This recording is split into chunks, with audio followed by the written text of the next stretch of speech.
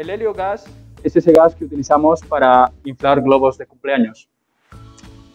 Gracias a que tiene menor densidad que el aire, estos pueden flotar.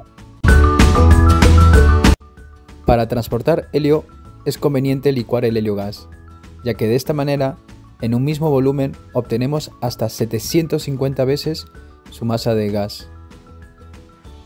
Además, el helio en fase líquida se convierte en el líquido más frío que existe, alcanzando los 269 grados bajo cero.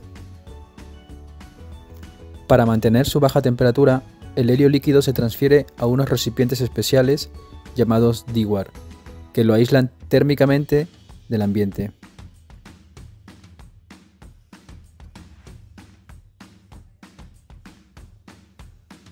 El helio líquido es indispensable para la utilización de algunos equipos médicos como la máquina de resonancia magnética.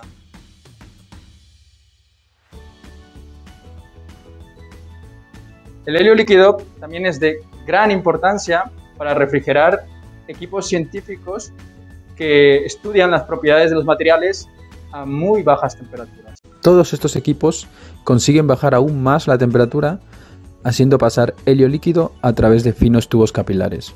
Sin embargo, si el helio se encuentra contaminado de hidrógeno, estos equipos se bloquean con el tiempo.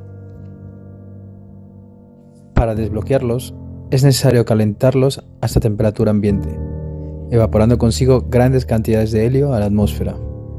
Esto supone un gran problema económico para los usuarios.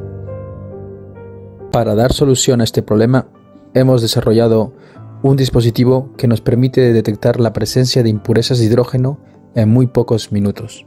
Este es nuestro instrumento para detectar impurezas de hidrógeno en helio líquido. Consiste en un microagujero realizado en una lámina de cobre que está situado en el extremo de este tubo flexible. Introducimos el instrumento en el recipiente donde se encuentra el helio líquido.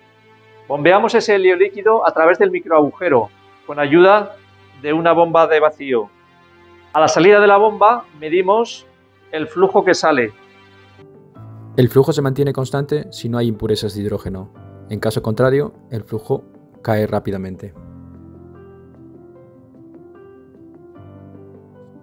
Hemos regalado este detector a varios laboratorios alrededor del mundo con el objetivo de obtener su feedback y ayudarles a evitar los bloqueos de hidrógeno en sus equipos.